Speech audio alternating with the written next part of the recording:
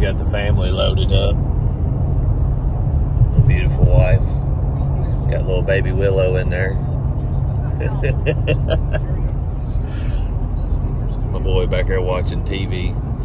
The entertainment system in these Wagoneers are, I mean, it's hands down the best one I've ever used.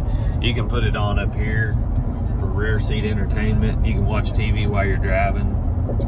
Shows both TVs in the rear, what what's on them, what's playing, and you can hit listen in and watch and watch it right here while you're driving. You can also watch it on this screen over here. But really good family vehicle. I mean, just excellent. So we went and picked this up last night towed it with the wagon here. Done phenomenal. Um, I put the tow haul mode on after we picked it up. We had drove down here previously with just a trailer and I figured out that just leaving it in automatic mode on the aero setting works a whole lot better.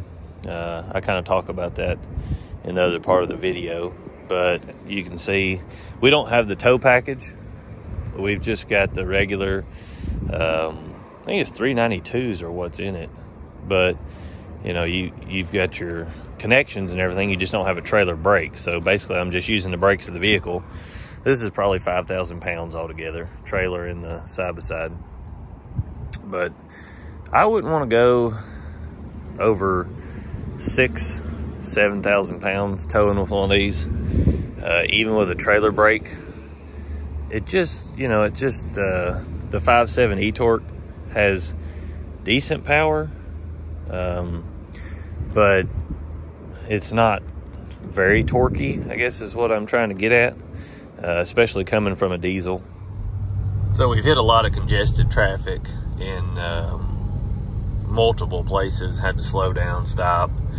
Uh, we got fuel once, but basically the best thing I've found is if you're just towing a trailer that's two to 3,000 pounds, is to leave it out of tow mode and just put it in normal drive, auto, and leave your air suspension on the second setting, the aerodynamic setting. And uh, we've been averaging about 15 to 15.5. Now we're at 14.9, but we've been in congested, really slow traffic down to 20 and 30 and 15 a bunch.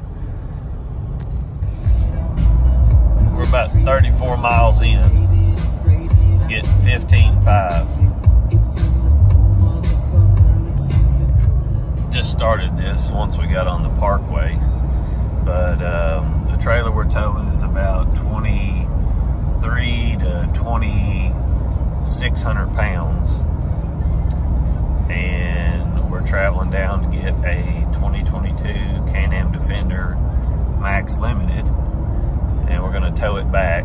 It's about 200 and some to 300 miles where we're going. We're going to see what kind of fuel mileage we get in the, in the Wagoneer. It has the uh, 5.7 e-torque Hemi.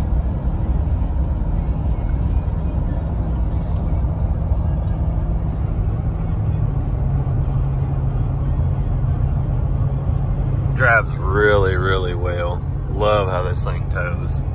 I mean, I have an F-250. It's not comparable in torque or anything, but it rides and drives extremely well.